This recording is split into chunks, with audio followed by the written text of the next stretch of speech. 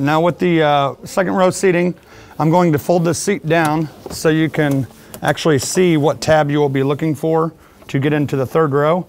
It's simply this red tab here.